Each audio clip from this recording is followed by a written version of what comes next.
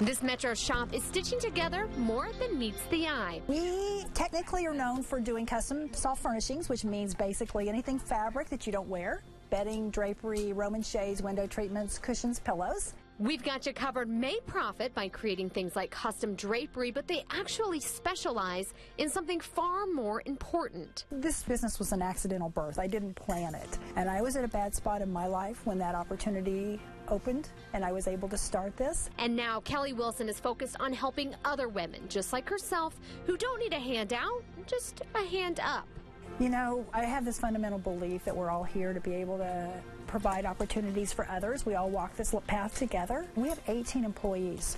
So to provide jobs that are above minimum wage for 18 women is it's huge.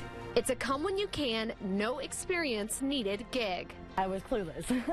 um, the first time I actually got on a sewing machine, I was so nervous and I felt like I was hyperventilating.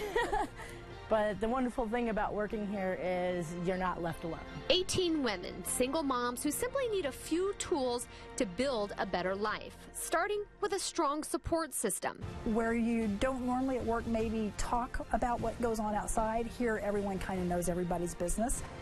I'm in recovery, the co-founder's in recovery, many of the women are in recovery, so it's you will have all kinds of conversations. The women's stories are all different, but their takeaway is much the same. When I first started working here, um, I was just getting like my kids back. You know, my bosses went to court with me and just, they've become my family most of all. So it's kind of like being at home when I'm here. They definitely have been a blessing in my life. They understand us single moms who are trying to, you know, better our future by going to school and working and taking care of children and the fact that sometimes children get sick or we get sick and they're totally understanding of that. And that's one thing that I love about working here and the environment. It's just amazing.